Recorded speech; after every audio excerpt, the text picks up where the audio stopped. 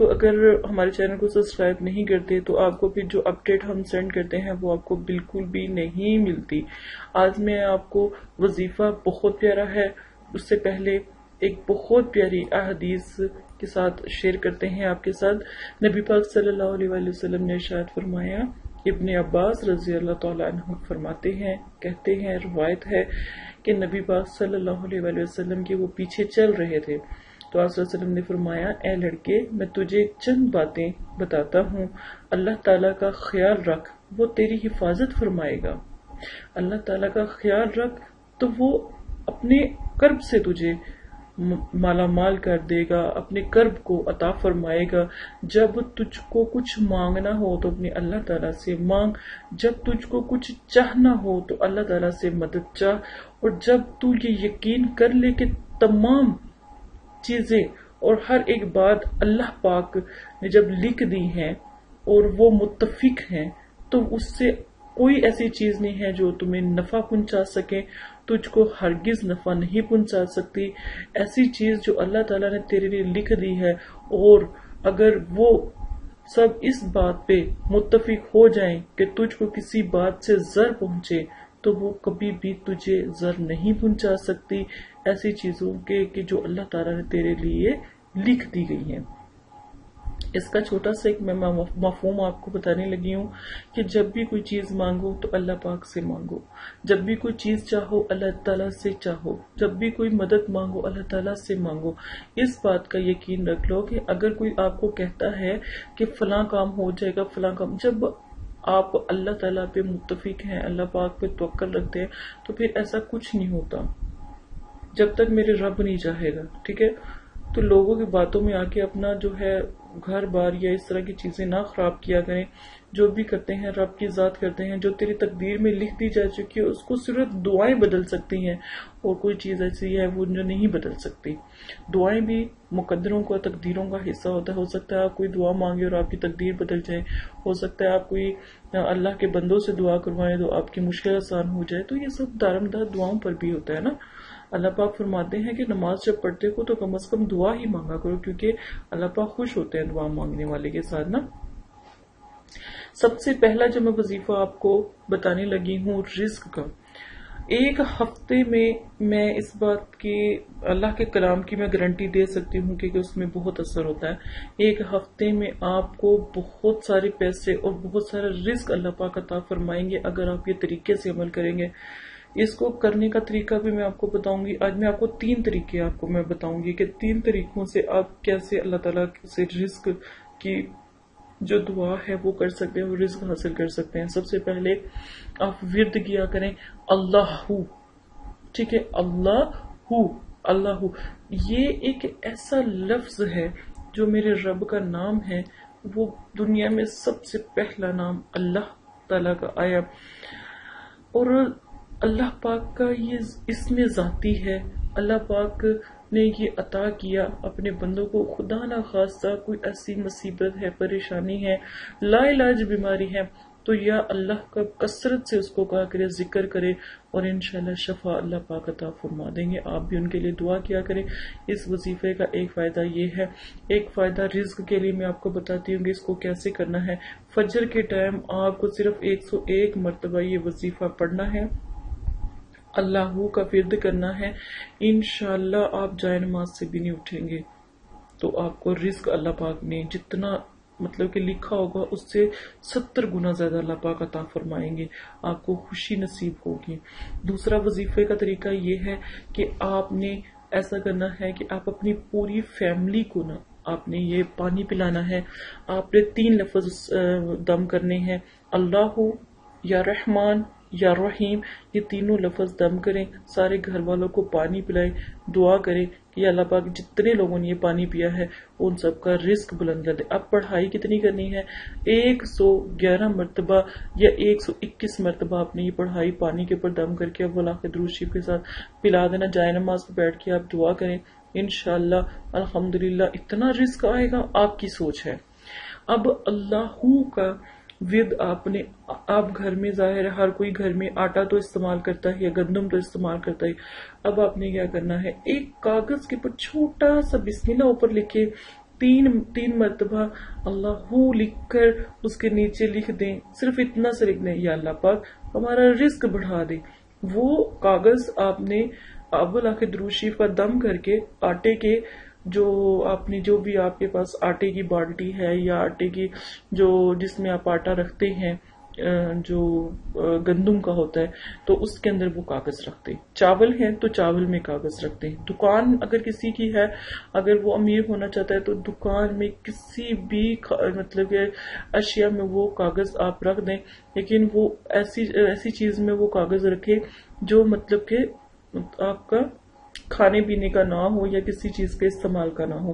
Number دو، اس کا یہ ہے کہ اگر کوئی بھائی ہے، جب وہ ایگزائم دینے جا رہا ہے یا کوئی نوکری کے لیے جا رہا ہے، اپنی جیب میں رکھ لے، اپنے رزق کے لیے بڑھانے کے لیے رکھ لے، انشاءاللہ، الحمدللہ، چالیس دن کے بعد آپ، اگر چالیس دن یہ کاغذ موجود وہاں پہ رہتا ہے الحمدللہ، چالیس دن کے بعد آپ کا رزق اتنا زیادہ بلند ہوگا۔ کچھ پڑھنا نہیں ہے، کچھ بھی لکھنا ہے اور دوسری پڑھنا ہے، بس ایک دفعہ۔ اور الحمدللہ، آپ کا رزق اتنا بلند ہوگا۔ آپ کی سوچ ہے۔ کسی کے ساتھ اس بہن کو اجازت دیں، اپنا بہت زیادہ خیال رکھیے گا، دعاؤں میں یاد رکھیے گا۔ اللہ پاک سب کو توفیق دے، وظائف کو آگے سینڈ کرنے کی، لوگوں تک پہنچانے کی، تاکہ اور لوگوں کا بھی بھلا ہو سکے۔ اجازت دیں، اپنا خیال رکھیے گا۔ اللہ حافظ۔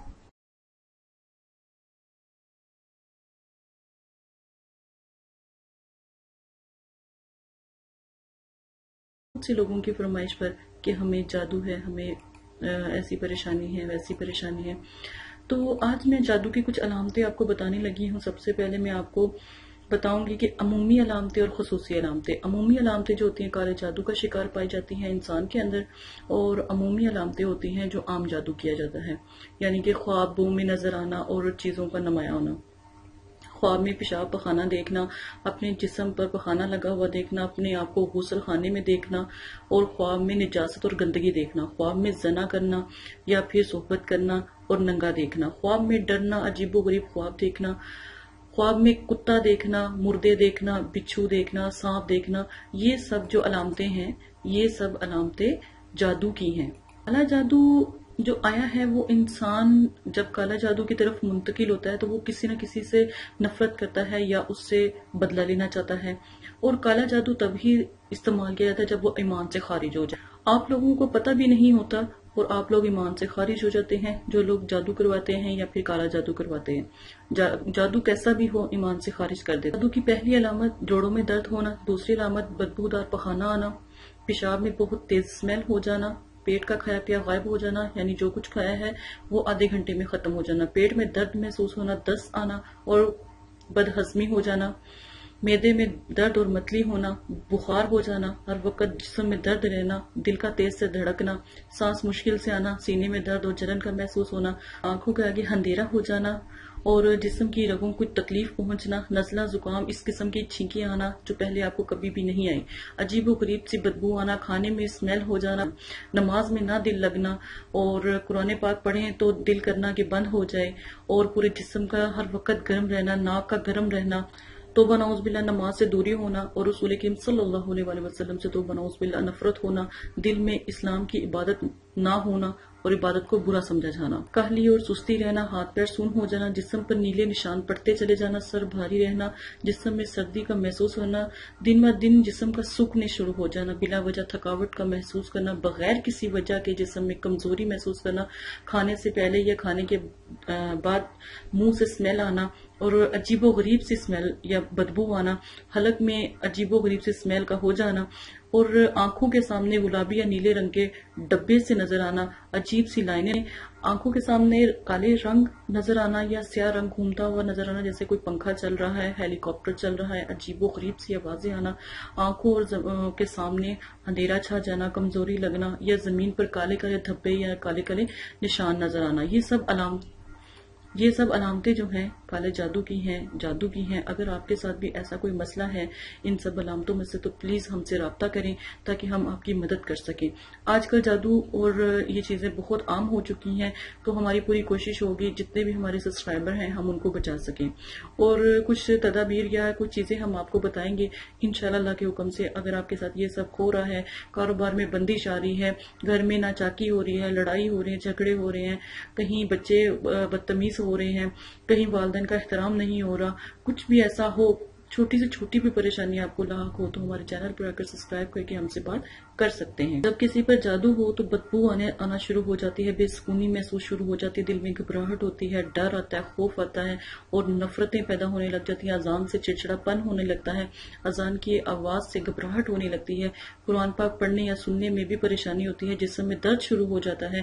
دوائیں میڈیسن اثر کرنا چھوڑ دیتی ہیں یا کسی بھی قسم کی دوائی آپ کھاتے ہیں تو کوئی اثر نہیں ہوتا۔ ہر کام میں جلدی ہو جانا ہر کام کی جلدی ہونے کی آرزو کرنا، کوشش کرنا، دکان پہ اگر کوئی چیز لینے جا رہے ہیں تو انتظار کرنے سے پریشان ہونا، لڑنا، جھگڑنا یا فساد کرنا اور بے چینی محسوس کرنا، انتظار نہ کرنا، جسم میں کیڑے سے کاٹنا، جب غور کرو تو کچھ بھی نہ نظر آنا۔ یہ سب علامتیں جادو کی ہیں۔ سر میں درد رہنا، کمر میں درد رہنا، گھٹنوں میں درد رہنا، پاؤں میں درد رہنا، جسم کے ہر حصے میں درد اور تکلیف ہونا، آنکھوں کے آگے جلن اور سرخ رنگ رہنا اور بار بار آپ کو ایسے محسوس ہونا جیسے آپ کو کوئی جھٹکا دے رہا ہے یا کوئی دھکا دے رہا ہے۔ اس طرح کی علامتیں بھی جادو کی علامت۔ آپ سب سے گزارش ہے جلدی سے ہمارے چینل کو سبسکرائب کر لیں تاکہ اگر آپ کے ساتھ اس طرح کی پریشانی ہے تو ہم آپ کی بھرپور مدد کر سکیں۔ اور رہی بات غیبی موکل کی، تو آج میں آپ کو غیبی موکل کے بارے میں بھی بتا دیتی ہوں۔ عمل آپ نے کچھ بھی نہیں کرنا ہوتا، آپ کو ایک ریکارڈنگ دی جائے گی، وہ آپ نے سننی ہے۔ اور تین سے سات دن میں موکلین کا آنا جانا شروع ہو جاتا ہے، خواب میں آنا جانا شروع ہو جاتا ہے۔ پھر آپ کے آس پاس ایسے لگتا ہے جیسے کوئی نہ کوئی روحانیت ظاہر ہو رہی ہے۔ غیبی موکل کا یہ عمل ہے۔ غیبی عمل، موکل کے عمل میں پہلے آپ کو استخارہ کروانا پڑتا ہے۔ پھر ہم آپ کی طرف موکل کو بھیجتے ہیں۔ پڑھائی ہم کرتے ہیں، موکل آپ کی طرف حاضر ہوتے ہیں۔ ٹھیک ہے؟ آپ کو ریکارڈنگ دی جاتی ہے، وہ آپ سنتے ہیں اور الحمدللہ جو ہے مقلین کی حاضری ہونا شروع ہوتی ہے۔ فائدہ اس کا یہ ہے کہ آپ کا روحانیت میں بھرپور مدد کرتے ہیں، آپ کے ہر کام میں مدد کرتے ہیں، چھوٹے سے چھوٹے کام میں آپ کی مدد کرتے ہیں، آپ کی مشکلیں آسان کرتے ہیں، کوئی بھی دعا ہو اس کی قبولیت اللہ پاک سے کرواتے ہیں اور آپ کے اوپر کبھی کوئی جادو نہیں کر سکتا، کوئی ساحر نہیں کر سکتا، کچھ بھی نہیں کر سکتا، آپ کی بھرپور مدد کرتے ہیں۔ غیبی موکل آپ کو رجت سے بچاتے ہیں اگر عملیات کرتے ہیں تو غیبی موکل عملیات میں کامیابی کے لیے آپ کے ساتھ دیتے ہیں، الحمدللہ۔ تو غیبی موکل کا عمل ضرور کریں۔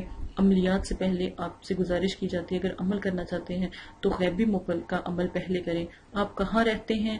آپ کا نام، آپ کی والدہ کا نام آپ ضرور سینڈ کریں تاکہ آپ کا استخارہ پہلے کیا جائے۔ بہت سے لوگوں کی غیبی موکل میں جو ہے میلز آئیں، لیکن جس جس کا نصیب تھا، یہ جس جس کے نصیب میں پڑھائی تھی، ہم نے صرف ان کو دیا ہے۔ تو اگر آپ بھی عمل میں شامل ہونا چاہتے ہیں، غیبی موکل کا عمل لینا چاہتے ہیں، تو آپ بھی بھرپور حصہ لیں۔ انشاءاللہ آپ کے ساتھ بھی آپ کا حساب کیا جائے گا، استخارہ کیا جائے گا۔ اگر آپ کو اللہ پاک نے اس چیز کا شرف دیا ہے، تو ضرور آپ یہ عمل کریں۔ یہ